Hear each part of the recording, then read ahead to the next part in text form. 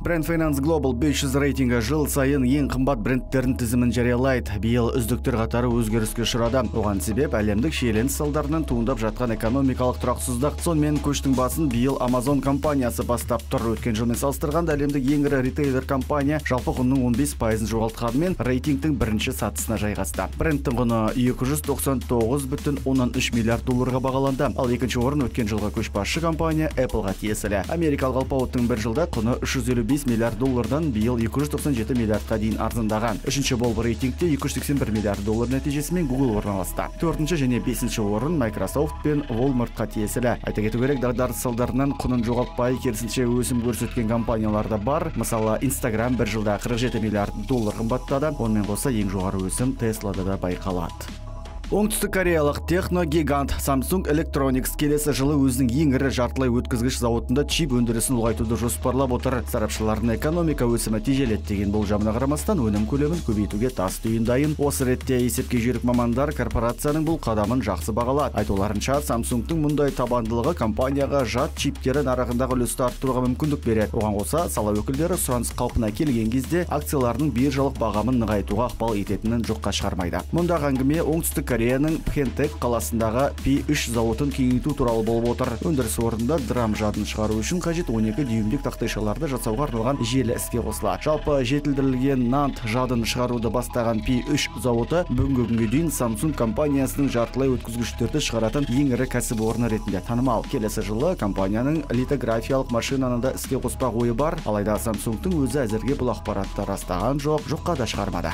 Қытайда роботаксилерге сұраныс артып келеді. Мұны байду технологиялық компаниясы сенімді түрде айтып отыр. Бұл ретте IT алабы жолаушылар тасымалын қамтамасыз ететін Apollo Go ұшқышсыз басқарылатын таксилерін мақтап әлек. Санаққа сенсек үшінші тоқсанда бейжің шанхай және гуанчжоудағы роботаксилердің әрқайсысы күніне орта есеппен 15-тен астам сапар жасапты. Соған қарағанда тәулігіне дәстүрлі такси жүргізушілерімен шамалас тапсырыс орындайды. Салыстырмалы түрде айтсақ нью йоркте бұл көрсеткіш күніне небәрі 12 сапарға тең қазіргі таңда байду роботаксиін коммерциялық мақсатта пайдалануға қытайдың жеті қаласында рұқсат етілген. Үшінші тоқсанның қорытындысы бойынша сапарлардың жалпы саны 500 мыңға жуықтады.